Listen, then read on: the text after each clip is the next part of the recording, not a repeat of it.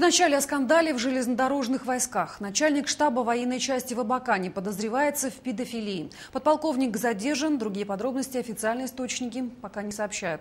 Однако в интернет просочилась информация, по версии следствия, 37-летний офицер знакомился со своими жертвами в социальных сетях. Установлено, что он вел с собеседницами переписку на сексуальные темы, в том числе отправлял ММС с неприличным содержанием, а позже встречался. Во время такой встречи с 10-летней ученицей одной из школ Абакана военного взяли оперативники. Специалисты уверены, что офицер совершил еще несколько подобных преступлений. Подполковник прослужил в российской армии более 20 лет, воспитывает двух дочерей – 15 и 5 лет. И в течение дня стало известно, сегодня офицера арестовали.